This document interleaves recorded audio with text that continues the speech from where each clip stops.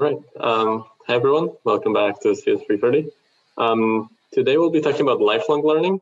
And um, this lecture will be a little different than the previous lectures we've had. Uh, it will be much more open-ended. Um, and I think a little more interactive as well. And um, this is because the topic itself is much more open-ended as well.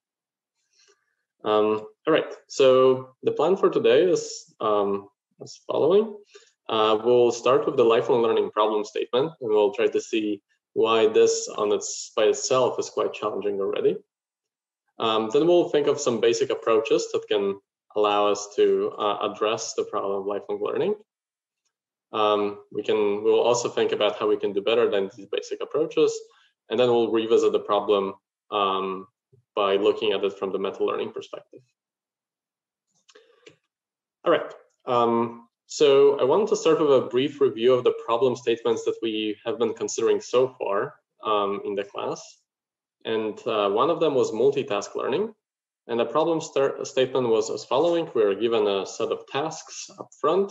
Uh, we can train on these tasks and then we'll be evaluated based on the performance on those exact same tasks. So we're just trying to learn to solve a set of tasks. And then we also talked about the meta learning problem statement uh, that is a little bit different. So in this case, we are given an IID task distribution, and we are tasked to learn a, a new task efficiently. So we're given a batch of data with many different tasks, and based on that, we need to uh, be able to learn how to learn quickly so that given a new task, we can quickly adjust to it and, and learn how to do it. All right, so these are the problem statements we have been we have been considering so far. But um, in many real world settings, the the, the setting is actually a little bit different. So rather than having this batch of data or batch of different tasks that we can pre-train on, either in the multitask or meta learning, it would look more or less like this. So we would have tasks that are given to us, but they're not given to us up front right off the bat. Instead, they're coming to us in sequence. So for instance, we need to you know, learn how to walk first, and then after we can do this, we will start learning how to run. And after we do this, we are given another task, and we kind of uh, keep keep going and, and keep learning new tasks that come in sequence rather than having this uh, this big batch of, of data and tasks up front. All right, so a few examples just to um, show you what, what, what I mean by this new problem statement. Um, so for example, a student learning concepts in school as, uh, as an example of, uh, of this real world setting that is more sequential, or rather than uh, being given all the different classes and all the different um, levels of in, in a particular class, you, you're uh, you're given different concepts in a, a, sort of curriculum. So you'll first learn how to do algebra one, and then you'll do algebra two. You're not given all of those all of the knowledge at, at once. Another example is a deployed image classification system that is um, trying to learn from a stream of images that come from users. And here, things that can change over time is, are things such as user preferences or the Im images that the users tend to take. The, the preferences and, and the images might change over time, and the algorithm should be able to adjust to that. Another, an, another more robotics example is a robot acquiring, acquiring an increasingly large set of skills in different environments. So in this case, we can imagine a robot that is um, initially deployed, let's say, in a, in a kitchen, and it's doing all kinds of different tasks in the kitchen. But after a while, we wanted it to also clean the bathroom. Um, so in that case, we would want the robot to be able to quickly transition to that new skill. And as it's given more and more tasks and skills in a sequence, should every new task should come easier and easier. Another one is a virtual assistant, learning to help different users with different tasks at different points in time.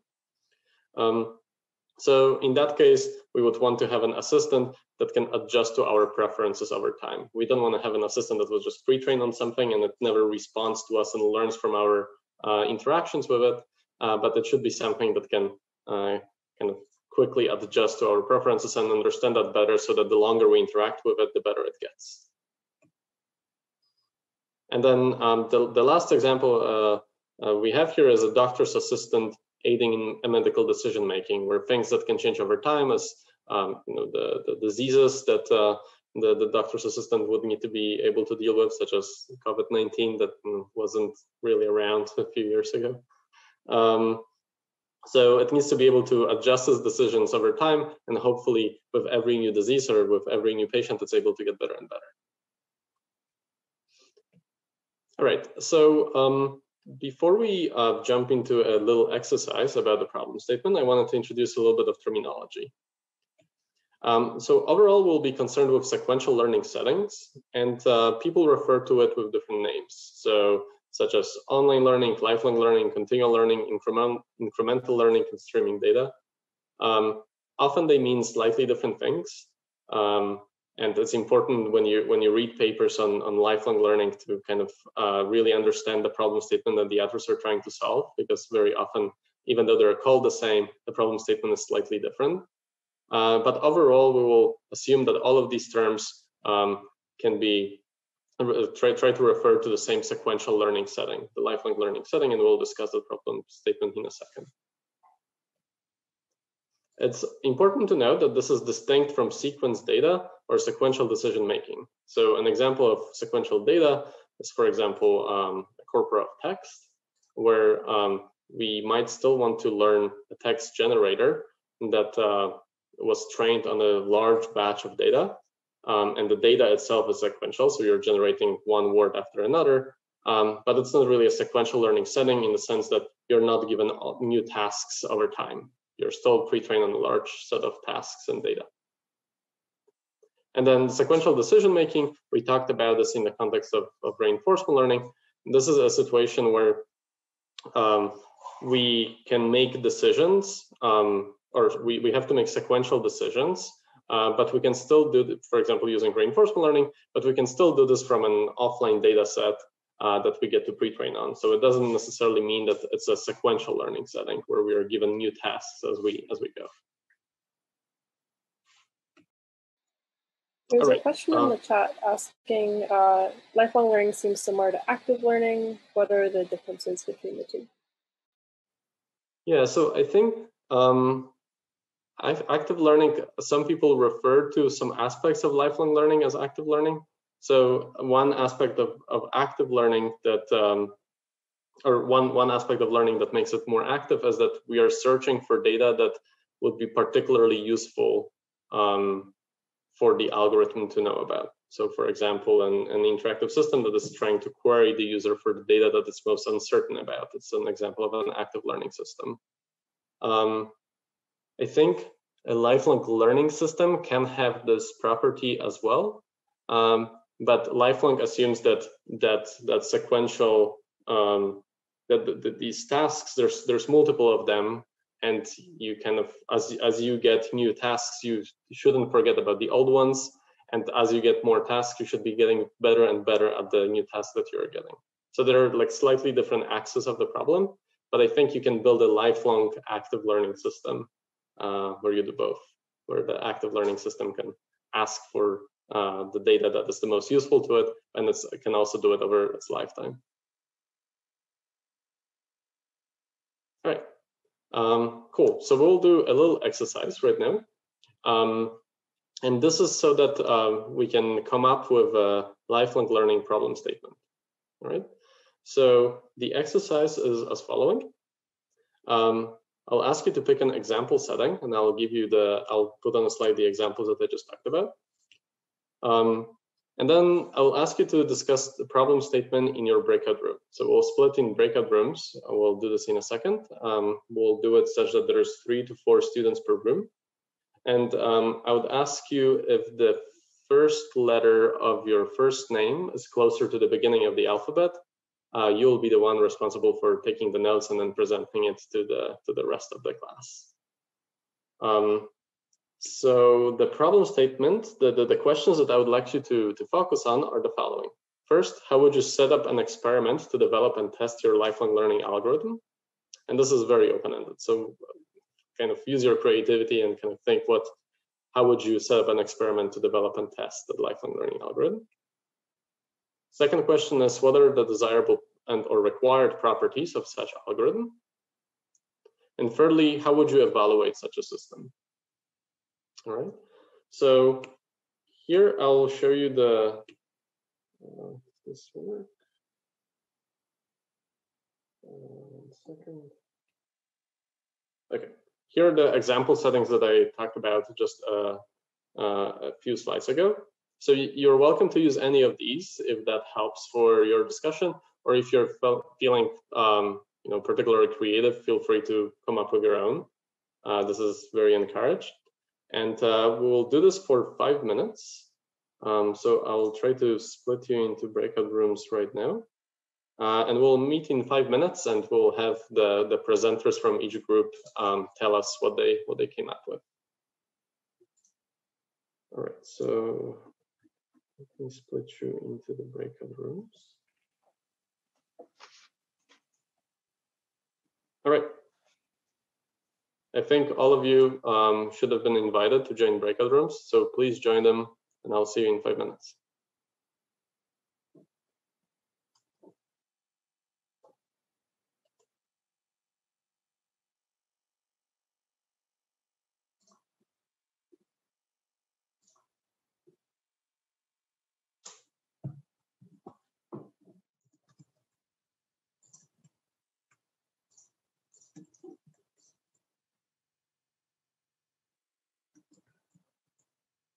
Right, so five minutes passed. I will close the rooms now. Oh, that will close in in one minute. Okay.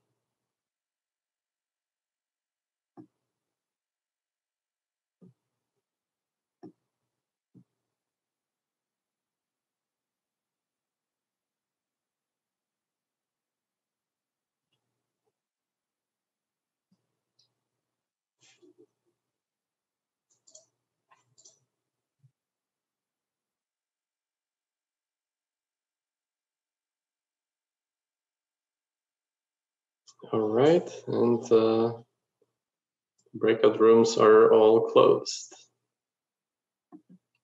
Welcome back, everybody. Um, I hope you get uh, good discussions. Um, so I will be asking uh, for a person from each room to tell us a little bit about um, what they what they've discussed, and I'll I'll try to take notes. So I have my little stylus here and I hope you can read my handwriting. Um, but uh, I'll take notes and we'll be talking about desirable properties and considerations as well as the evaluation setup. Um, and I just wanted to um, to uh, let you know that uh, the the the problem setting is one of the hardest parts of lifelong learning um, challenge or lifelong learning, the topic of lifelong learning. So uh, this is a really difficult exercise. Um, but with that, let's get started. So um, I'll ask the person from room number one to tell us a little about desirable properties and evaluation setup. Uh, sure. Um, this from room one, I believe. Um, so we chose the setting of an image classification system. Uh, so our experiment would be uh, you know, first we decide on like a data set. So we chose uh, the the MNIST data set. Um, and our experiment is we want to sort of build up the knowledge of the classifier being able to distinguish between um, each of like the digits. Um, it's kind of like an incremental. So we begin with the classifier being able to discriminate between the first digit and um, let's say like uh, digit number two. And then uh, we can do like the testing um, just sort of almost in classes. But then in like the next round we have it discriminate between uh, class one and two and then kind of three and four. And then we um, create like put the test on all of the digits, and we kind of do that incrementally. And then the goal would be to sort of it can build up good knowledge quickly. Okay, yeah, that makes a lot of sense. So you're learning incrementally, and you're given uh, you start with the with digit one, and then you're given the next digit over time. And uh, what are the desirable properties of such an algorithm? So you wanted to uh, learning so be learning increasingly. Is that what you said? Yes. And uh, so, so what what are the other properties that you would want it to to have? Yeah. Um, I think the ability to learn what is needed to learn quickly, I guess. So, because of the new kind of digits, um, each kind of digit has its own kind of set like of different kinds of characteristics. So, I guess maybe being able to learn quickly, kind of like a few shot manner. Okay, so with every new digit, it should learn quicker and quicker. Okay, and uh, and how would you evaluate this algorithm specifically? So you would have, I, I guess I should have written the MNIST part here. Yeah. Um, you would have the MNIST digits, and you are Um, measuring what exactly? Yeah, so um, I guess this specific metric, um, I guess we would evaluate the accuracy, um, assuming that like the data set is balanced. Um, but I, I think the goal is kind of like how like a student um, has like a midterm and like a final. It should be assessed on sort of the classes it's seen, um, as opposed to like okay, it just learned class four. We should just evaluate on class four. It should um, be able like to do well on all of the digits. I believe like that it's seen. Right. So it should be evaluated in all the classes that it's seen so far. Yeah. Okay, and you would uh, you would evaluate based on the accuracy of of all of those. Okay, that makes a lot of sense. Cool. Is there anything else you would want to add? That's it. All right, great, thank you. Um, all right, I'll ask the room number two, and I think some people don't remember their room number, so just if your group hasn't been called yet, you know, just go ahead and, and say something. I believe I was part of room number two, and I can go next. So we discussed about the problem setting of uh, you know robot navigation uh, indoors. So uh, when you have robot inside the inside your apartment, your the layout of your apartment keeps changing continuously. You keep moving furnitures one place to another, or you could even move from one apartment to another. And ideally, you would want the same robot uh, to learn how to navigate in the new um, in the new apartment. And uh, one of the ways you could train such a um, robot is in like Gibson environment or habitat environment. For example, where different rooms uh, would be considered different tasks. Um, and uh, one of the evaluation um, metric could be like you know shortest path taken from source to destination or like even different goals could be you know different uh, tasks for example you would want it to navigate to kitchen or some other room um, things like that Okay, yeah, that makes a lot of sense. So you would be checking how long it takes for it to find the shortest path to the destination, is that right? Yeah. Or how long the Um, path would be? how i mean like i don't know how to define shortest path here. Uh, what would you compare it with? Um, but yeah i mean essentially uh, when you uh, when the let's say the furniture layout changes from one to another um, you'd still want to find um, like uh, the most efficient path from source to destination Right. and uh, like one of the ways I can think of is you would use something like A star or something, and you would want to do better than that. Um, but, but yeah, um, shortest path could be one evaluation metric. Right. Okay, that makes a lot of sense. And what are so given that this is a lifelong learning algorithm, you'll be, as you said, you'll be given one room at a time. Uh, what are the desirable properties of such an algorithm? What would you want that algorithm to do? Um,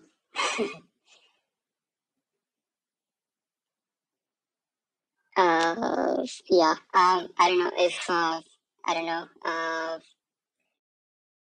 and yeah, you can jump in. But yeah, can add to that. So basically, what we were discussing is it might happen that when the like the uh, environment changes, like the room changes or the furniture changes, so the bot may may get confused, maybe uh, like that trajectory of which is the correct path. So it should be able to like ask the human, uh, like what direction should I take. So basically, it should have the ability to uh, somehow quantify the uncertainty and if it's greater than some threshold it should be able to ask it like then incorporate that feedback during it to plan the like the new trajectory Okay, so should quantify uncertainty and uh, should ask for feedback. Yep. Great. Um, right, is there anything else that you would like to add? uh, no. Uh, yeah, I can't think of anything else. Okay, great. Thank you. This is this is great. Um, right, room number three. Yeah, hi, this is. Um, we have uh, selected uh, one of the examples listed in the slides. Uh, actually, we picked the number A, uh, student learning concepts in school. Um, but maybe this can be applied also for a kind of digital learner, uh, which we feed it content, right? So um, we argued a little bit for uh, for this example that there might be kind of two setups. One is more explorative, so similar like a reinforcement learning environment, and another one which is um, more of a supervised kind of approach. Um, and that is based on, um, let's say, similar environments like in different parts of the world where um, some some knowledge or some schools, let's say, are more spoon feeding rather than some other places where they let you um, experiment and learn. So w- one one of the um, uh, desirable properties and considerations here is that you have some learning objectives, so you know what you want to learn uh, in different kind of uh, milestones, um, and a given time frame to learn those uh, learning objectives. And um, every second or every uh, learning objective that is coming after the uh, after the, the previous one uh, needs to be based on knowledge, uh, historical knowledge that you have learned before. Uh, so it's it's incremental. And so you're it's kind of given to you in some kind of curriculum yeah, where Yeah. each task builds on top of another. Okay, yeah, that makes a lot of sense.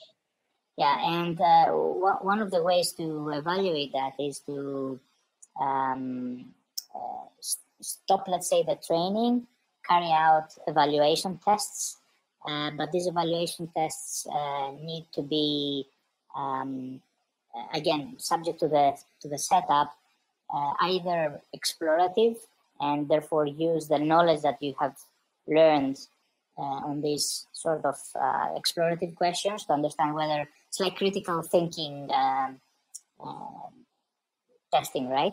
Or uh, just to find out, for example, what you have learned from from the previous knowledge. You can carry out a task within a given time frame.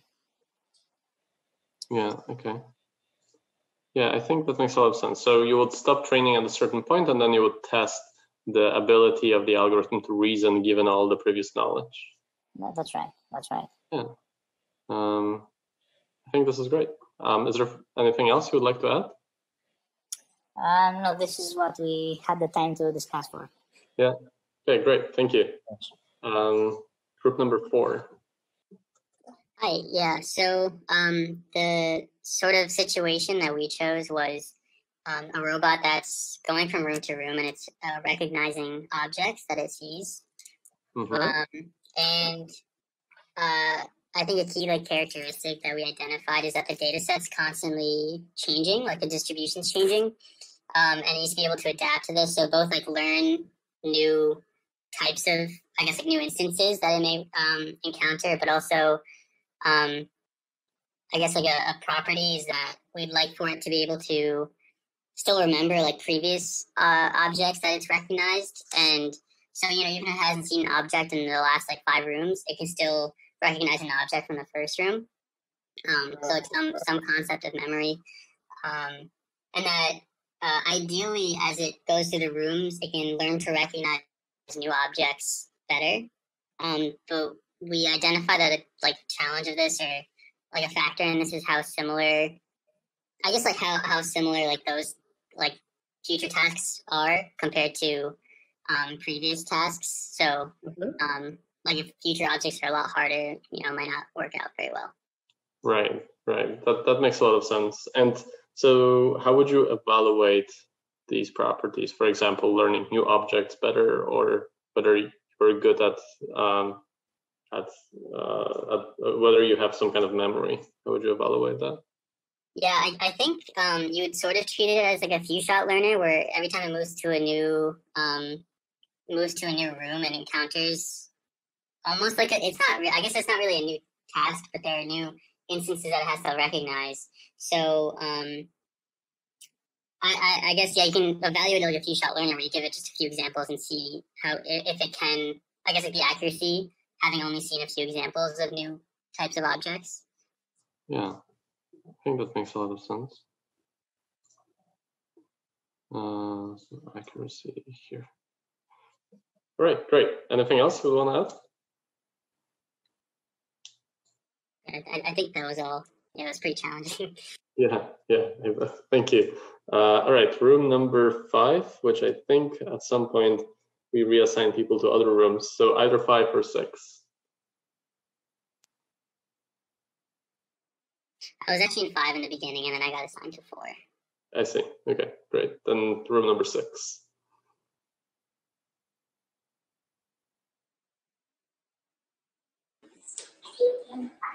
Right. Um, yeah, I think I think that's us. I'm remembering the number correctly. Um, so the context we were looking at was, was one of the um, different ones with uh, you know robot trying to learn uh, a bunch of different tasks and series. Um, so picturing like being able to you know manipulate different objects or play different instruments, or um, that was kind of the image, one of the images we had in our heads. Um, and then the uh, the setup to develop a task would be you either have like multiple rooms in each room it's, it's trying to do a different task or you add objects to the same room and it's learning to do different tasks in that room pretty similar to some of uh, the other stuff you've heard um, mm-hmm.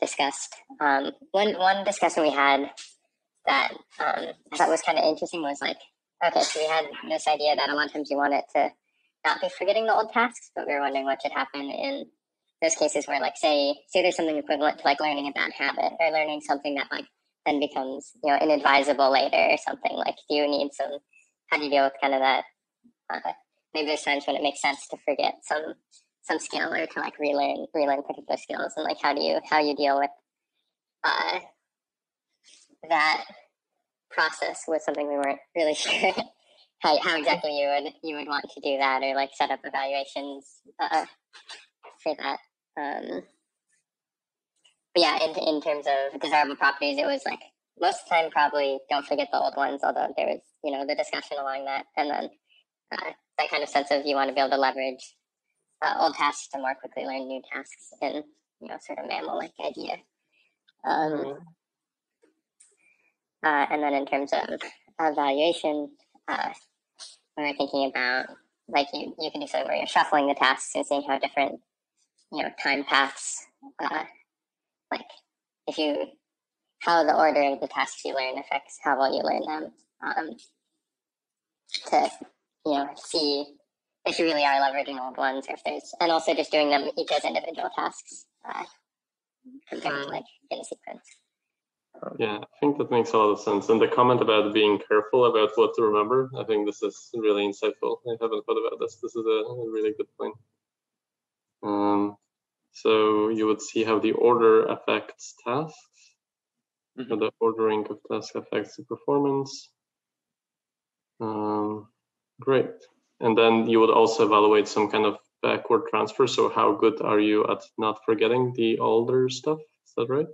Yeah, yeah. Although with the caveat of like maybe it's like a nuanced process if Mm-hmm. If you are learning like a change preference or something, but yeah, some sort of you want to retain probably most of most of what you've learned.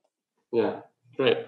Um, thank you. Um, and we have the last room, I believe, room number seven. Yeah, I can I can speak for room seven. Um, so we also talked about uh, kind of a robot learning uh, multiple tasks uh, or like continually learning more and more tasks.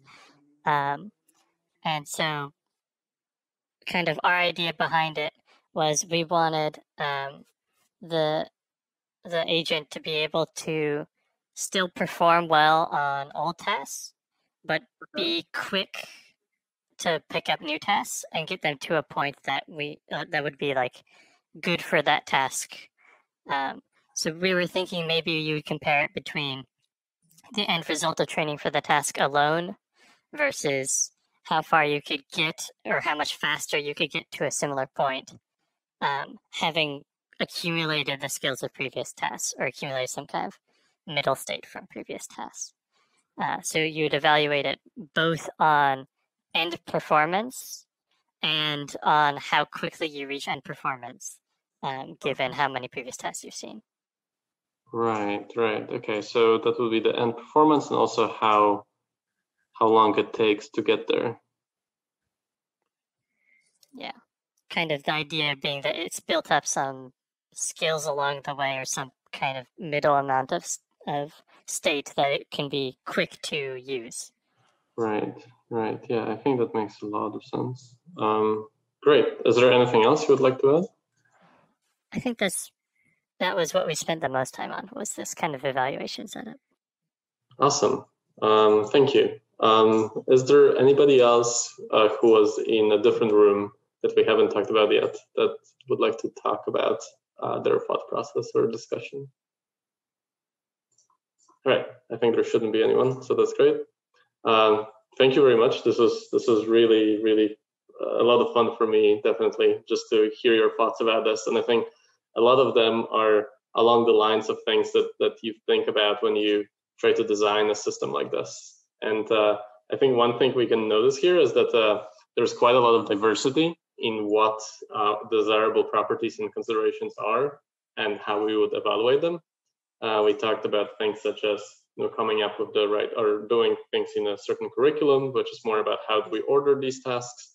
We talked about the notion of memory and how we should be able to uh, still know how to do things that we learned in the past, but at the same time, we would want to get better at learning uh, new tasks as we know more and more. And then we talked about different evaluation setups, and this was, I thought, really fun. So different robot navigation settings, uh, also more real life settings such as students in school, um, robots with uh, not necessarily doing navigation, but just handling different tasks or objects, MNIST digits, and all kinds of things. Um, so thanks a lot. Um, and I did that exercise myself a little bit too, and came up with a few variations, uh, which I think a lot of you came up with as well. So let me list those. So first, the um, the task and data order might matter, as I think someone said in the student case, where we might want to have a curriculum of tasks where one built on top of the previous one.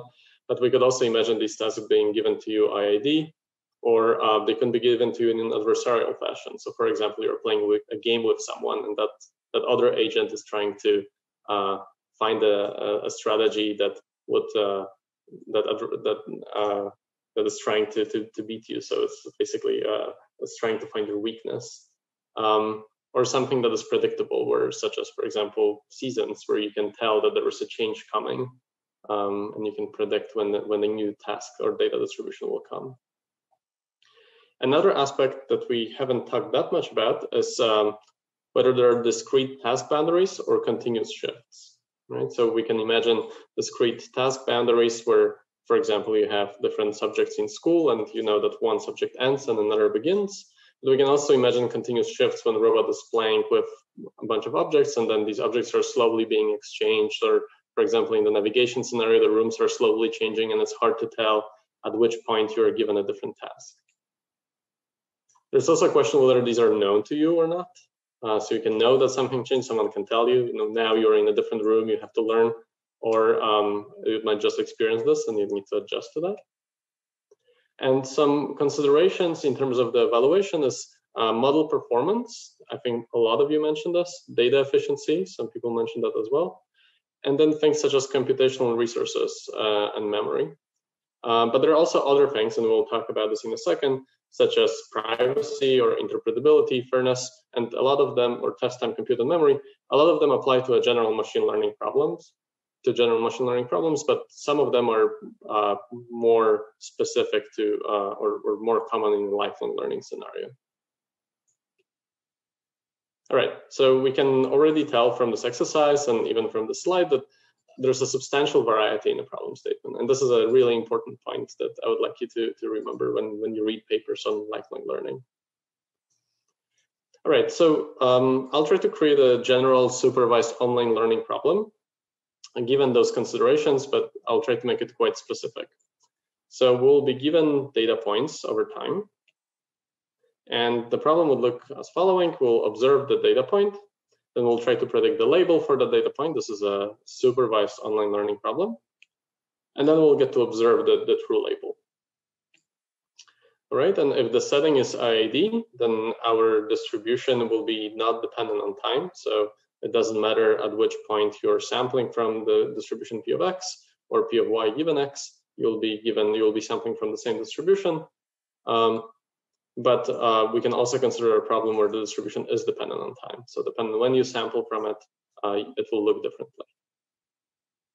And then there's also a streaming setting where uh, the assumption is that you cannot store the current sample that you see. So there could be various reasons for this. For example, it's just too big and you don't necessarily have the memory to store that, or you don't have enough computational resources, such as, for example, when you have to classify videos really quickly, you don't really want to um, store them.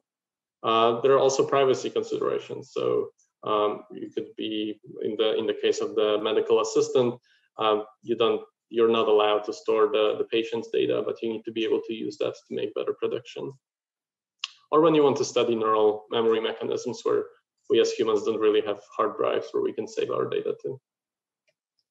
So in general, the streaming setting is true in some cases, but in many cases, these are not necessarily the considerations that we, we have to consider. In a lot of the examples that we talked about, uh, these were not the most important constraints. Um, and in particular, remember that, for example, in reinforcement learning, we use replay buffers um, almost for for any off policy algorithm. So there's it's fairly easy to store the data for us. All right. Um, so what do we want from a lifelong learning algorithm? Um, and there is a particular, there are two particular measures that are, um, I think, quite principled that it's useful to, to know about. One of them is regret or minimal regret. So we want a regret that will grow slowly with the number of data points or with the number of tasks. And regret is, uh, has a strict mathematical definition and is defined as the cumulative loss of the learner minus the cumulative loss of the best learner in hindsight right? So what that means is a formula that looks like this, where the first part, um, the part, let me just pick my pen real quick. So the part right here is cumulative loss, loss of the learner. So here we have our loss that depends on the, uh, the, the loss for the current task, LT, or for the current data point. And we have the parameters theta, so we don't have control over that loss. Uh, this is just something that measures the performance of our algorithm. And then we have our parameters theta that we get to pick at time step t. And this is what our algorithm can produce. So this is what we do have control over. And then we do the cumulative loss across all of the theta points or all of the tasks, minus the best, uh, the cumulative loss of the best learner in hindsight. So if we knew all of the tasks up front, we would, uh, and we would find the best data for all of them how would that difference grow with, with the number of tasks, with new tasks? Right, so this is the notion of regret. And um, the goal usually is, uh, so one, one point here is that it's really difficult to evaluate in practice because we would need to run this every single time. Uh, but it's useful for analysis for different algorithms. Um, and uh, one thing to note is that regret that grows linearly in T is trivial. And um, can you tell me why? Or can you give me an example of a regret like this? Um, or rather of a learner that achieves a, a linear regret in T. Um, please either raise your hand or just speak up.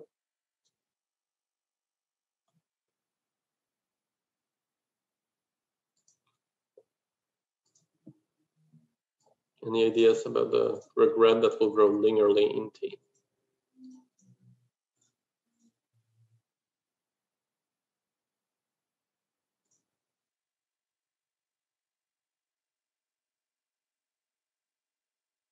Right. This is this might be a little tricky. Um, so let me try to give you one example. Um, so for instance, if we had an algorithm that trains each task from scratch, so every time you get a new task, you train it from scratch, then this term would grow linearly with t. So at every task, assuming that they're of the same uh, difficulty, it will be getting uh, kind of the regret will be getting bigger and bigger by the same amount. So it will grow linearly with time or with tasks. All right, is this does this make sense more or less? Or are there any questions? Yep. Can you explain it again, like how the task, like this regret grows linearly with uh, time? And also one more thing, this small t, is it the time step or the tasks that we encounter? Right. So um, I think you can, so it, it kind of depends on the setting. You can either consider this as a task where you're given a single data point that can be also considered a task, but let's say these are, this is the data point. So T is the, um, small t is the current data.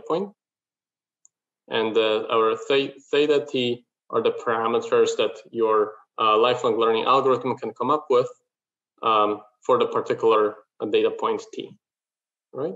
And then the capital T is uh, across all the data points that you get to see, and you get to see them in sequence. So now the first part is telling you what's the cumulative loss, so the loss that you sum up over each one of those of the theta points for uh, your parameters theta t.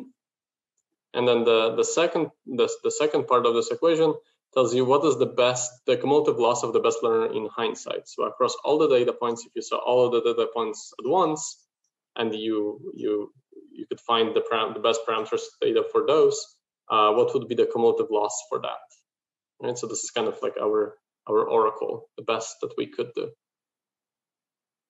Right? So the reason why uh, an algorithm that would train um, on each data point from scratch has a linear regret um, is because assuming that each data point is as difficult as the previous one, um, that term will grow linear, linearly, linearly, right? So basically at every point you will be getting a constant loss and then you will be summing that up. Does that make sense? Yeah, thank you. All right, cool. All right, so there is one other measure that uh, I would like to introduce, and this is um, positive and negative transfer. And this is maybe a little bit, bit easier. So the positive forward transfer is um, is something that a lot of you mentioned in the um, during the discussion is where the previous task cause you to do better on future tasks right? So that means that as you get more tasks you're getting better and better on future tasks. And this is compared to learning future tasks from scratch. And then the positive backward transfer would mean that the current task cause you to do better on previous tasks right? So as you learn more and more you're getting better at the tasks that you have already seen and this is also compared to learning past tests from scratch. And if you want to talk about, instead of the positive transfer, uh, you want to talk about the negative transfer, then you need to change the word better to the word worse. And that will be the definition of that. There are a couple questions about regret in the chat. So the first question is, with linear regret, can we say that there is no or minimal knowledge learning or transfer from previous tasks? Yeah, yeah, exactly. So if there is no uh, positive transfer or if there is nothing that you're learning from each task as it comes, then you're getting linear regret. That basically means that you're not really learning from the process of getting these tasks. Luke is asking, can regret be negative if choosing just a single theta ends up being too restrictive?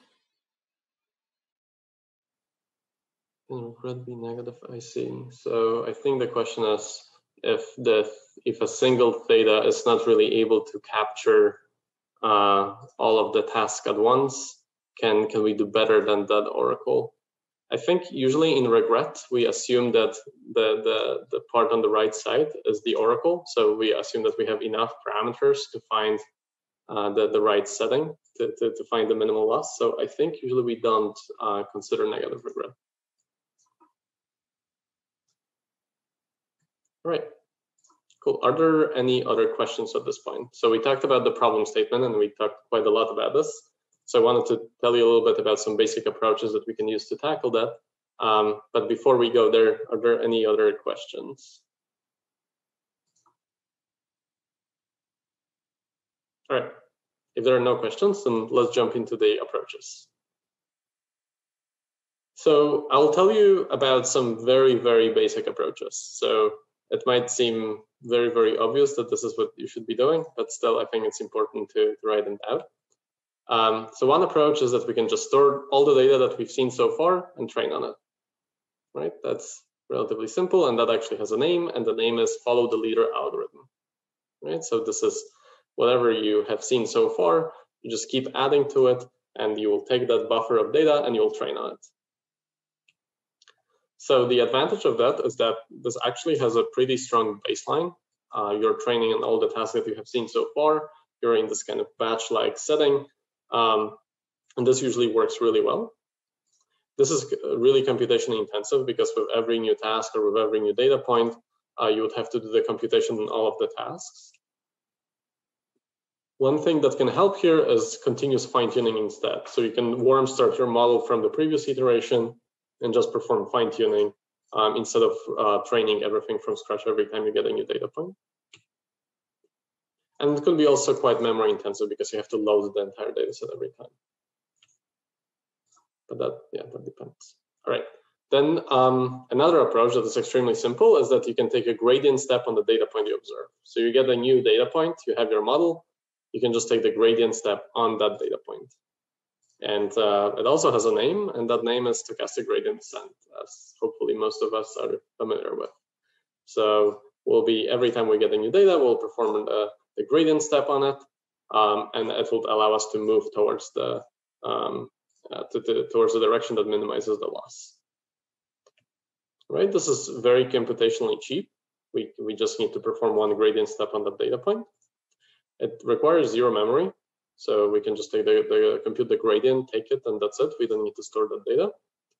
Um, but it's subject to negative backward transfer, right? So if we only get to do gradient steps on the new trade on the new data that is coming in, um, that might mean that we can forget about all the old data that we've seen. Right? And because of this, that might lead to us forgetting about what we've done previously.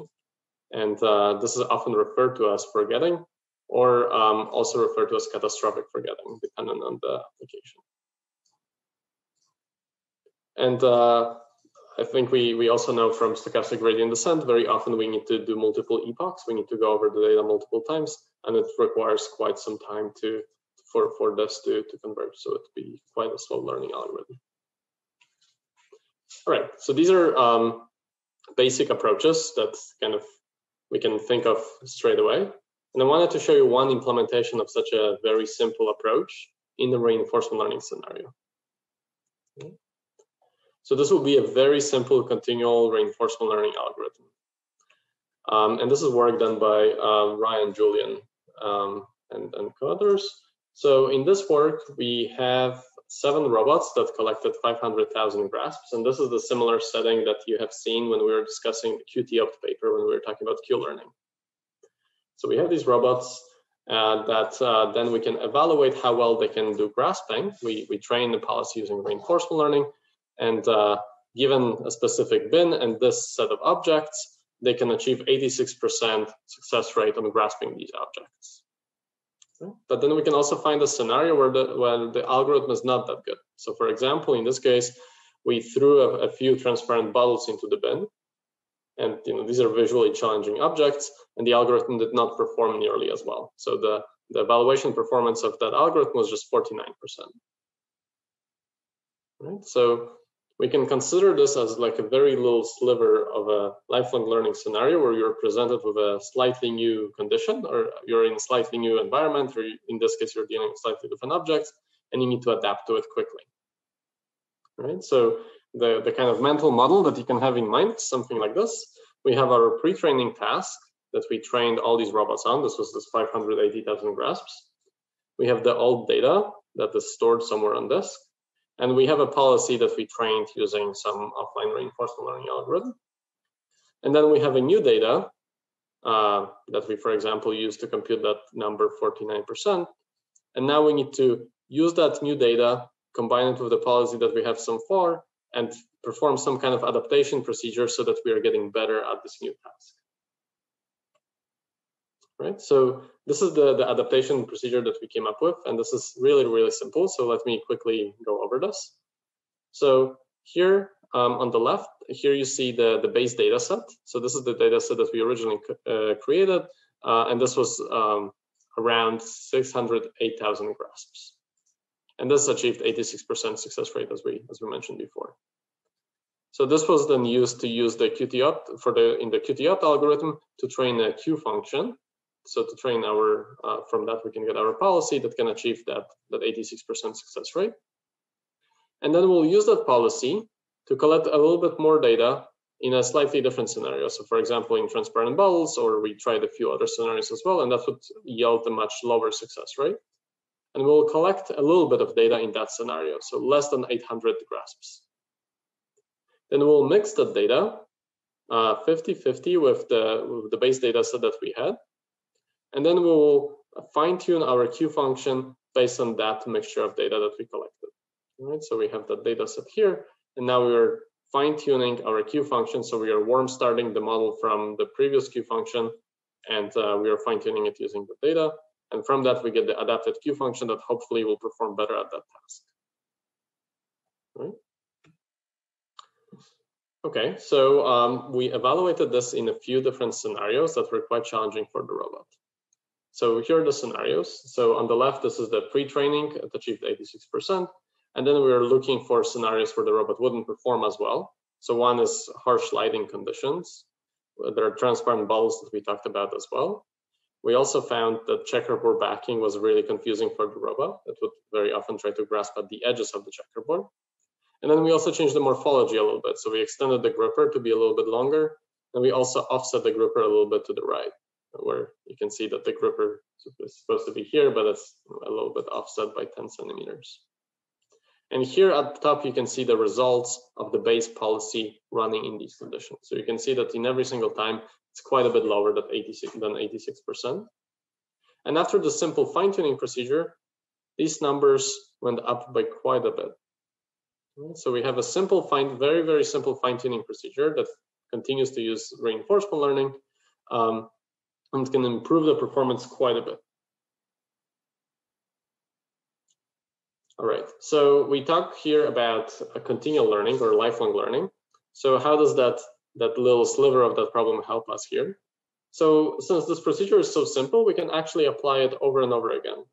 Right? So we can collect our initial grasping data set, uh, do our uh, adaptation procedure right here uh, using the the, the new data set. And then given that result, we can continue doing this and kind of change the environment again and continue doing it again and so on.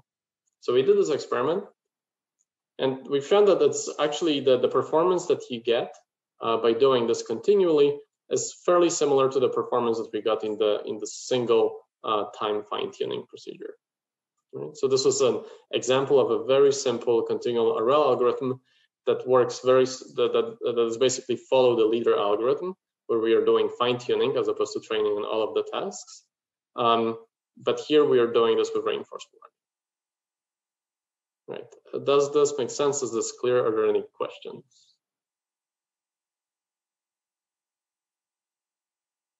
Okay, there's a question on chat. When you fine tune, you only evaluate on the respective data or in totality, like previous data sets as well? Yeah, this is a great question. So we're only evaluating this on the respective data. So on the data that we are fine tuning on.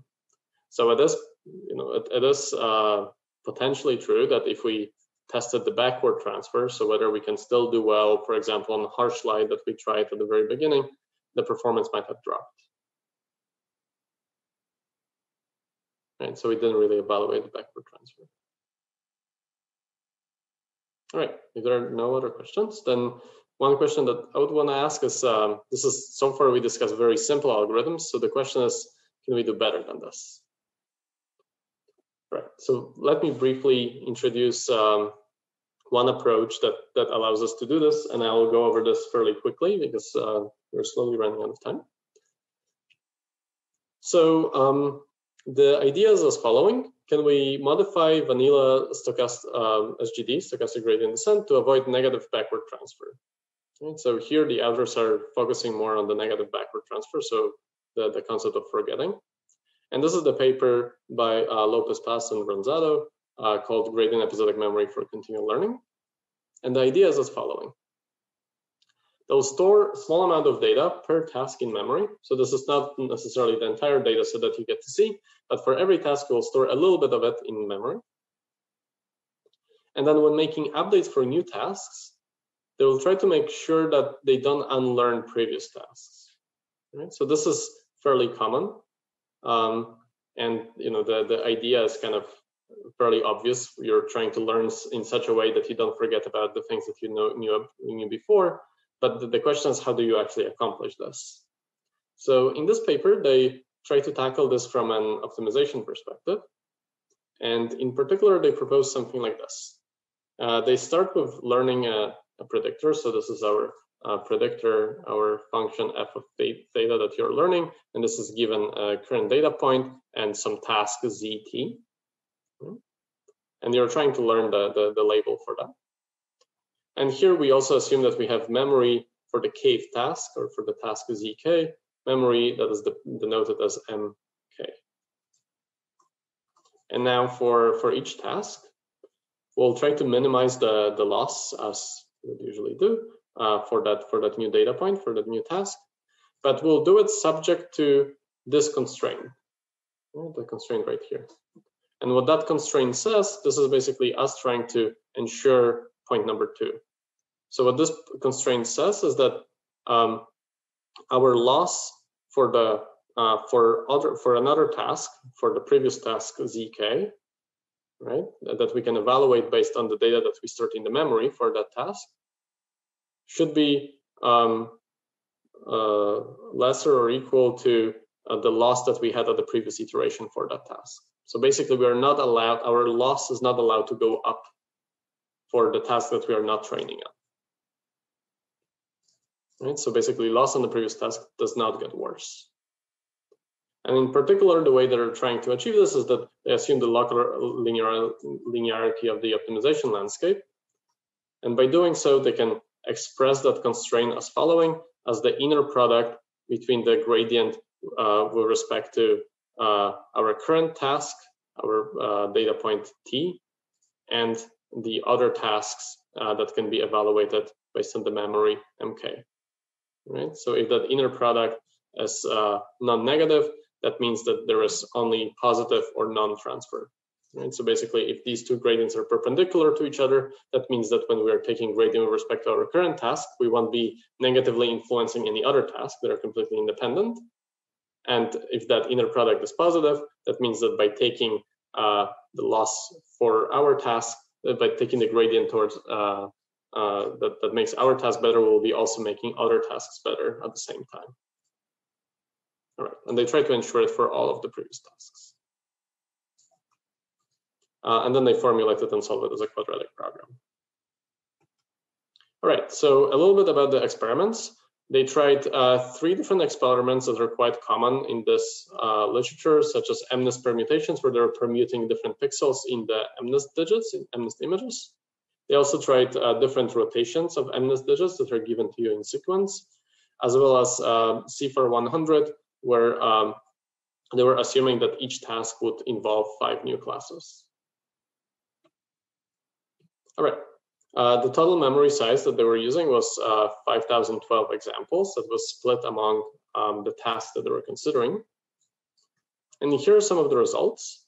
So first, I would like you to focus on the pure accuracy. So one of the things that we discussed was how would you measure a, a continual learning algorithm? You would just look at look at the accuracy of that algorithm. And here you can see that their method called GEM uh, or GEM achieves really good accuracy. And then it also presents positive backward transfer as well as slightly positive or almost zero forward transfer. But then more interestingly, you can see the result on the right here, where they show how that performance declines or how does performance change after you after seeing more and more tasks. So here on the x-axis, we are seeing the task number or the number of tasks you get you, you saw so far. And on the y-axis is the performance of task number one. Right. So at this point, you learn task number one. This was your original performance. And as you get to see more and more tasks, your performance stays more or less constant. It doesn't drop because you're kind of learning with this constraint that prevents you from uh, uh, from forgetting. All right, it's a little bit of a problem, but hopefully we'll get to the end. Um, so then um, they also evaluated this on MNIST rotations and showed very similar results, as well as uh, CIFAR 100, where we can see that this curve stays high, uh, as opposed to the other curves that dropped quite a bit uh, because they're subject to the to negative transfer the negative backward transfer. Right, and one thing to consider when looking at papers that talk about continual learning and propose these algorithms is that sometimes the assumptions that they make and the algorithms that they introduce, they don't necessarily apply to the particular experiments that they were running. So in this case, if we took a step back um, and we looked at the, the assumptions that they started with, where you can't just store all the data for all the previous tasks, um, this is not necessarily true in this case. You're operating on MNIST uh, digits, and you can fairly easily store all the images that you get to see. So uh, some of the assumptions maybe don't match with the experimental domain, and this is something to pay attention to, and this is quite tricky to do. To find the right experimental domain that is kind of realistic and shows the uh, the properties of your algorithm. Right, and there are also approaches that uh, do this using uh, meta-learning that try to avoid negative backward transfer through that. And uh, here are some papers that I, uh, that I would suggest you to take a look at that, that try to do this. All right, so in the last 10 minutes or so, um, we will talk about revisiting the problem statement from the meta-learning perspective. So how can we change that problem statement such that we can apply some of our meta learning algorithms that we learned about um, so that so that it's the, the problem statement is a little bit more tailored towards those and it's i think more makes more sense in general. Are there any questions at this point?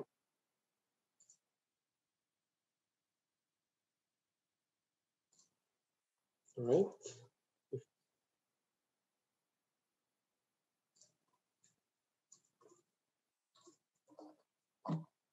in the meantime, I'll quickly um, adjust my charger. Just one second. All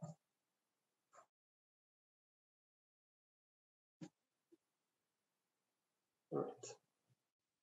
Um, There's one quick question in the chat uh, asking about SNAIL, which is the simple neural attentive meta-learner. Um, SNAIL reminds me of continual learning. Is it an example of continuous learning? Right. So maybe that's um, a question that you, Chelsea, can say something about since you've covered SNAIL before. What do you think? Yeah, I can. I can take that. So um, the SNAIL algorithm it is really a, a meta learning algorithm that kind of can adapt to a data set using an attention based architecture. Uh, like uh, Karol will just will discuss in a minute, you can actually kind of take meta learning algorithms and apply them to online settings. But the SNAIL algorithm itself is not a lifelong learning algorithm because it just adapts to a fixed data set rather than like an evolving um, evolving stream of data.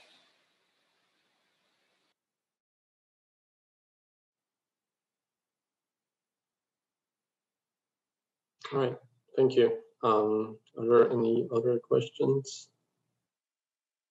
Great. Okay. So um, let's talk about how we can revisit the, the lifelong learning problem statement from the meta-learning perspective. So the original online learning formulation um, that was introduced in, in these two papers um, focuses on a very specific setting where we have to perform sequence of tasks while minimizing static regret. So what that means is that you're given tasks in sequence, and your performance is measured as soon as you're given a new task. Right? So you don't have any additional um, time to kind of adapt to this task. You will the, the clock will start ticking, or will start measuring your performance as soon as you get to see that new task. Right? So it basically tries to measure the zero shot performance. The better you are at being really good at this task straight away, the better that metric will be. But more realistically, what we would want to do is to be presented a task and then given a little bit of time to learn the new task, to adapt to the new task, and then being evaluated on the task, right? So we want to get a little bit of time to just figure out what the task is and then and then be evaluated on this. So we'll do this over time and slowly learn next task and next task and so on. And then we would want to evaluate the performance of it as opposed to evaluating the performance straight away, zero shot. And we also want to do it such that initially we start learning quite slowly, but eventually it gets faster and faster. So we can learn new tasks much more rapidly the more tasks we are given. All right, so um, in this paper, um, the authors propose to uh, formulate an online meta-learning problem where we try to efficiently learn a sequence of tasks from a non-stationary distribution. Um, so in that case, the, uh, the performance, the evaluation will be done after seeing a small, a small amount of data. Right? So we'll have this short burn-in period where you can quickly adapt, and after that, the performance will be evaluated. So it's important to note that the difference between these two is just in evaluation rather than in the data stream. You're still given the tasks that are coming in sequence, but you're being evaluated slightly differently. In the, in the online meta learning case, you're given a small, a short burn-in period that allows you to adapt a little bit. All right. So um, let's talk about this online meta learning setting and let's introduce a simple algorithm that will remind you of an algorithm that you have seen before. Um, so for the online meta learning setting, we'll iterate over tasks. And then first we'll observe this little data set, the training data set for the, the task that you're given at, at the current time step. And that will be the data set from the burn-in period. And then um, we'll have to come up with some update procedure that will produce the parameters for our learner, for, for, for, our, uh, for our function. So parameters uh, uh, phi t, for instance. And then we'll get to observe the data point, predict the label for the data point using the parameters. So the parameters, the function that is parameterized, uh, sorry, that, that is parameterized by phi t. That is an output of our update procedure that we get to that we get to adjust based on our burn-in period. And then we'll get to observe the label.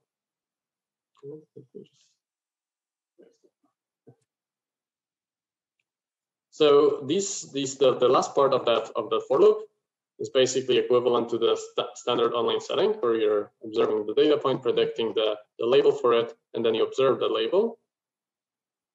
But here, the, the first part allows you to do to use that burn-in period to learn a better update procedure. And the goal is similar to, to the goal that we had before. So we're trying to find a learning algorithm with sublinear regret. We defined regret before, where it's a difference between the loss of the of your algorithm, the cumulative loss of your algorithm, minus the loss of the best algorithm in hindsight. All right, so given that the problem setting, can we apply meta learning in this lifelong learning setting? So if we recall follow the leader algorithm, uh, the basic idea is that we would store all the data that we've seen so far, and then we'll train on it. And then once we train on it, we'll deploy it on the current task.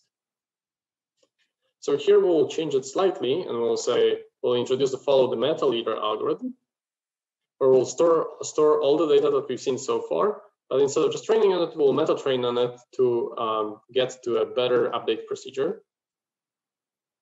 And then we'll run that update procedure on the current task.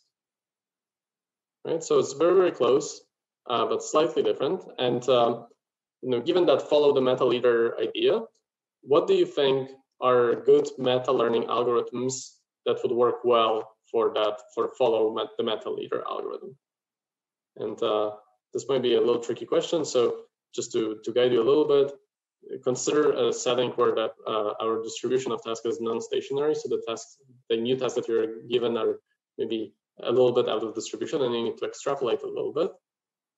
And in particular, remember um, at some point Chelsea was talking about uh, black box meta learners versus optimization or gradient based meta learning algorithms. So what do you think? What are good meta learning algorithms that are well suited for uh, follow the meta leader? Please either raise your hand or um, you can answer in the chat.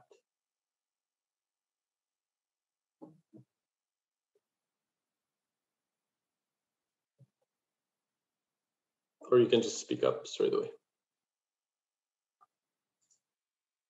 An LSTM, okay. So uh, an optimization-based meta learner uh, could be, that's one option. Optimization based, since all data is available at all times and you can warm, you can do warm restarts a la MAML. Okay. Right, so in particular, what I'm trying to point to here is, um, think what Chelsea mentioned in, in the previous lec in one of the previous lectures is that the optimization-based, the gradient-based meta learning algorithms are potentially a little bit better at extrapolating, at finding at, at the task that is a little bit out of distribution, um, as opposed to the the uh, black box meta learners that are not as good at extrapolating and and uh, they're they're more uh, they're, they're doing more of an interpolation between the tasks that you're already seeing. All right. Um, so um, that uh, online meta learning paper um, introduces an algorithm that that uses uh, MAML to do this. So um, one of the one of the answers in chat was was was correct. Uh, it basically does follow the meta leader, algorithm where we are doing the um, the meta training using the MAML algorithm, and they evaluate the um, the algorithm based on a sequence of tasks. Um, so first they do it with colored or rotated or scaled MNIST digits. They also try a task of uh, 3D object pose prediction, where you're given uh, uh, viewpoints of, of, a new object and you have to tell what's the orientation of that object with respect to some uh, frame of reference, in this case, this red dot on the table. And then they also do CIFAR 100 classification, where new classes are considered a new task. All right, so we'll look at the few comparisons. So first comparison, first baseline would be uh, called um, TOE or TOE, uh, where they just train on all the data that was uh, that they've seen so far. Then uh, they'll also try to follow the leader algorithm, uh, which is a little bit different here, given that online meta learning uh, online meta learning setting, where they get to train on all the data so far, but they will also use the data from the uh, burn-in period to fine tune on that so that they can take the full advantage of the setting. So this is the version of the Leader that, that kind of takes advantage of that online meta learning setting. And then they'll also uh, try training from scratch on each one of the tasks. Right, and I'll just quickly show you the, the results. And um, here we can see in terms of the training efficiency, so how many data points does the algorithm require to get to a certain performance? And here at the bottom of the x-axis, we see the task index. We can see that FTML algorithm can uh, is, is, much efficient, much more efficient than all the other baselines, and it gets more efficient as it gets to see more and more tasks. So it's getting better and better at, at learning. And then here on the right, we see the learning proficiency, which uh, which is basically measured after a burn-in period of uh, 100 tasks, I believe, or 100 data points, excuse me, uh, where uh, you see that the performance of the of the algorithm itself uh, or the, the error of the of the algorithm itself is also the best. So it's uh, it can achieve smaller and smaller error and uh, as, as it gets to see more tasks. So in this case, follow the meta leader learns each new task faster, but also with greater proficiency. And eventually it can approach kind of the, the future learning regime where you just need a few examples to be able to learn the new task. All right.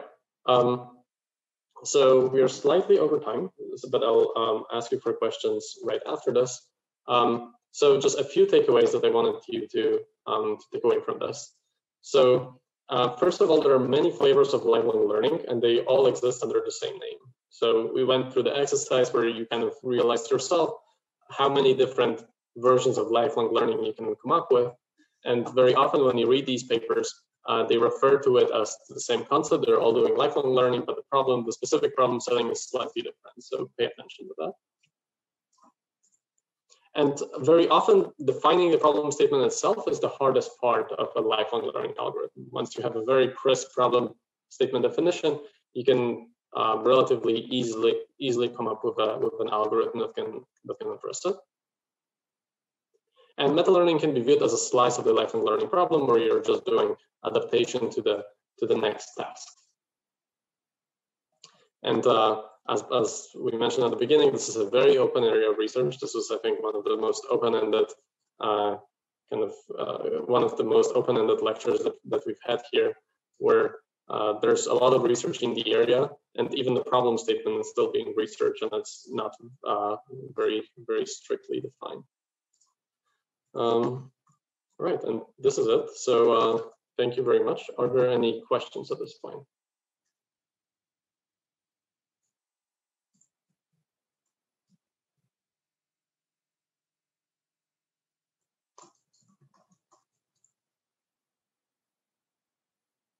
Yeah, there's a question from.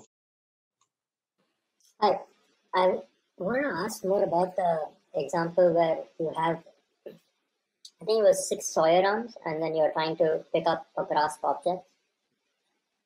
Uh, in that, I was wondering if when you you train on around eight, uh, or you fine tune around 800 grasps, and I was wondering um, if you had tried uh, train on everything in that scenario and uh, when you found some evidence of benefiting from fine tuning, uh, how that would have done, how that, that would have compared against uh, train on everything or train from scratch on that task. Right. Yeah.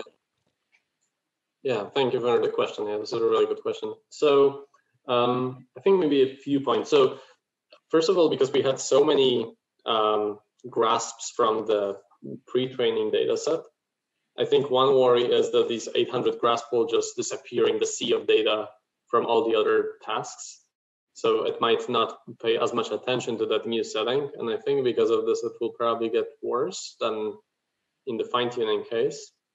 Um, and then secondly, just from the um, computation resources perspective, uh, training this on the, on the entire data set every time will take around three to four days on multiple machines. Um, so it's just like a an, an unfeasible problem or un, unfeasible really uh, you know, proposition where every time you see some kind of change in the environment, you need to retrain and wait for three days to to have the the policy that can that can learn that can perform in that new setting. And um, right? so probably by the time you, you train the entire algorithm, it will be already uh, you'll be in a different setting. And I was just a little confused on the on the arrows. So you trained on. I was wondering why you didn't share learning between the different uh, fine tuning tasks. So like like transparency, checkerboard, uh, the different kinds of grippers. I was wondering why there wasn't any shared learning between those tasks. I see. So by shared learning, do you mean why didn't we construct a data set that had all of the different modifications yeah. and try to fine tune to that? No, as in why um, why the, the network parameters weren't shared between the different subtasks, but they were just shared between the main uh, task and the six different subtasks. Right, right, right. Okay, yeah. So let me clarify this. Um, so um, the the way we were doing fine tuning is that we would start from that original pre-training uh, poli- pre-trained policy, and then we'll do, we'll warm start our new policy from that. So it will have the exact same parameters and then we'll fine tune to the next task. At this point, we'll have the parameters of that new policy that perform quite well on that next task. And then we'll fine tune that one again. So we'll oh. warm start the next one from this and kind of keep going. So does that direction matter? Like which you do first, which you do second? Do you do more general tasks ahead, upstream, more specific tasks yeah. upstream, or the other way around? Yeah, that's a really good question. We didn't really evaluate it, um, at least in terms of the order of the fine tuning task. If I were to guess, I think that the uh, it's important to pre-train on as big of a family of tests or as big of a data set as possible so that fine tuning is easier. So I don't think you should change and start training on 800 grasps and then fine tune to 800,000 grasps. Okay. Um, but I think in terms of the order of the fine-tuning tasks, we didn't really evaluate this, but I think that would be really interesting, and I don't really have a good intuition of uh, what the good what the, what the good ordering would be. If you have a quick minute, I'd, I'd love to understand why um, the what, uh, what it means for the thing to be linear uh, for the for linear regret. I was wondering why, if you could explain again why the loss on each task could be constant.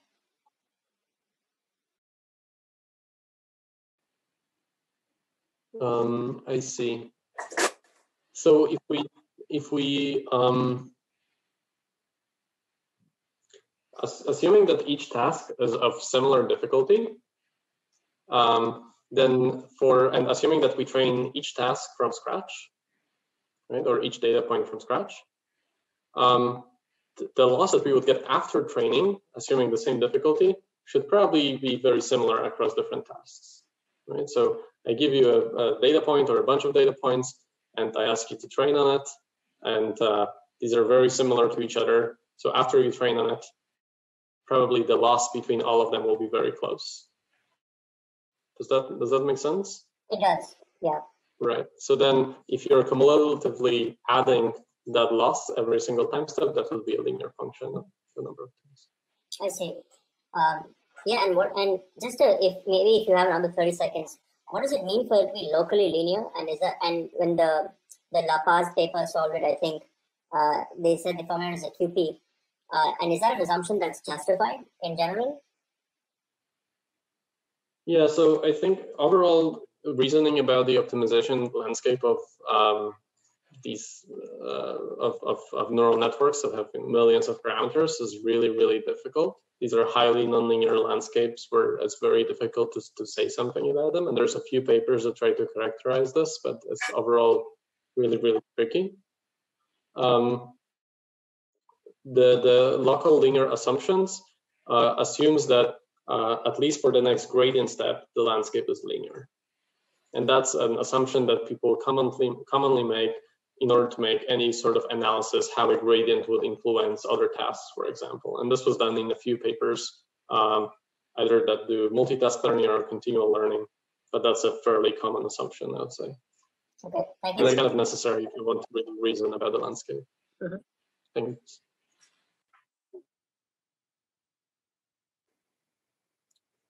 There's also a question cool. that I was answering in the chat, um, but you could also give your opinion. Uh, are there works that study basically the the um, the task order and the difficulty of the tasks versus an IID distribution? Um, sorry, ordering the task based on the difficulty versus an IID distribution. Yeah. Um, there's no particular papers that come to mind right now. Um, if I were to guess, uh, uh, yeah, I, am not familiar with any theory on this or any even in, well, I guess we can come up with some kind of intuition, at least for reinforcement learning problems, where you would probably want to start with tasks that can help explore for the next tasks or that are a little bit broader than the, than the next task that you want to adjust to. Um, but I think this is more of an intuition than something that uh, you know, has been has been truly shown. Um, and in case of the supervised learning problem, I'm not sure if um, if if there's any research on the ordering of tasks there. Yeah, in the supervised learning setting, I added one a link to one paper that might be relevant. It shows basically if you pre-train on one thing uh, and then train on another thing, uh, that pre-training task can actually deteriorate performance for later tasks in some settings. Yeah. Yeah, I think it would probably depend quite a bit on the application and what the specific tasks are. So it's difficult to say something general about this, but uh, yeah, it's a really interesting question. Okay, I think we can end there.